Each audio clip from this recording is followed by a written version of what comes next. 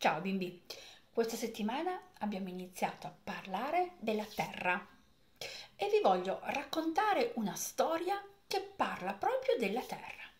Si intitola L'orto di Simone.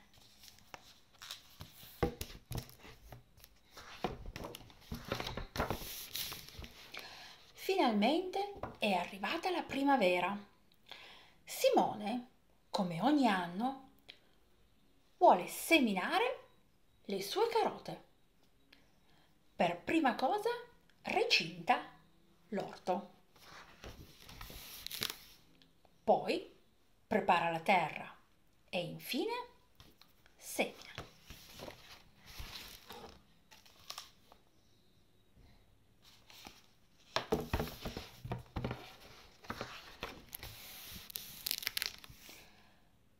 Nel giro di poco tempo le sue piantine incominciano a crescere. Simone le annaffia con l'acqua e dopo qualche giorno le può finalmente raccogliere. Guardate quante.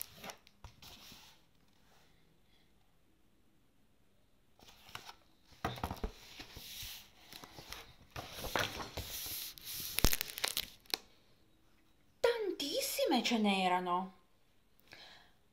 Ciao Simone, disse Paolo.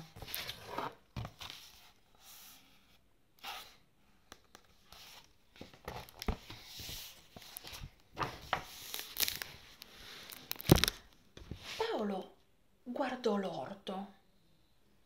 Mm, ti devo aiutare. Sì, sì, ti serve proprio un aiuto.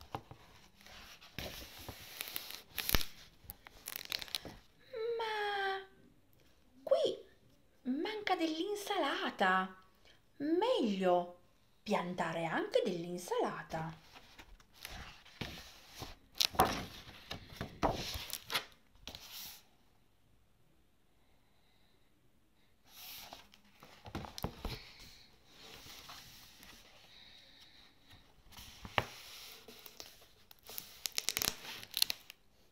Poi arriva un'altra amica di Simone, Cora.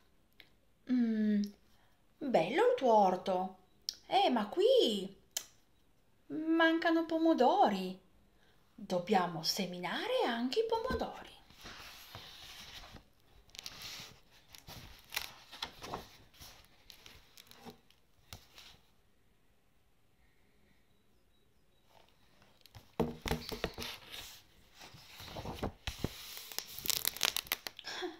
arrivò un altro amico, Isidoro.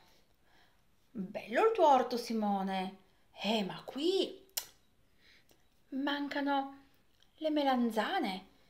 Bisogna seminare anche le melanzane.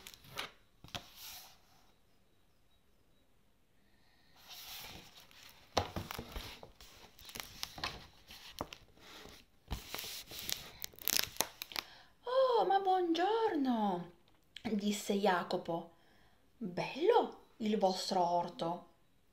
Mm, penso che manca qualcosa. Ah, sì, il mais.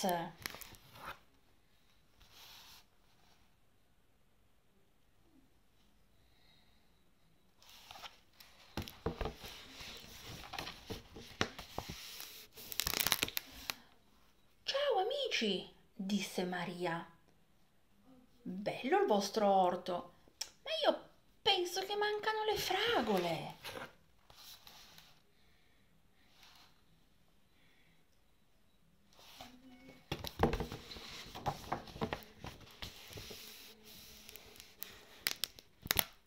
Ma a un certo punto, Simone. Dov'è Simone? Non c'era più Simone.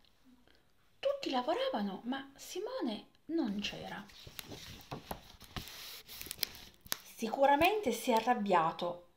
Ah, non è colpa mia. Sì, è colpa tua. Gli amici incominciarono a litigare.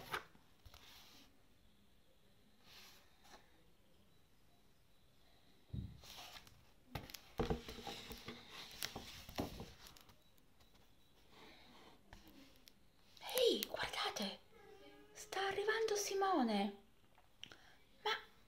Cos'hai in mano?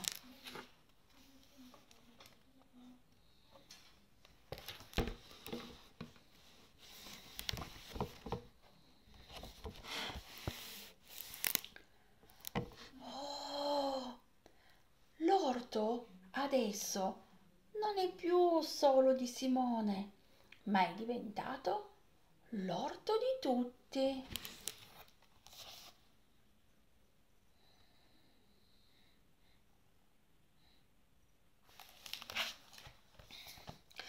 Avete visto, bimbi? Che bella questa storia. E che cosa ci insegna? Ci insegna che non va bene coltivare solo quello che serve a noi nel nostro piccolo orto, ma dobbiamo aiutare anche gli altri.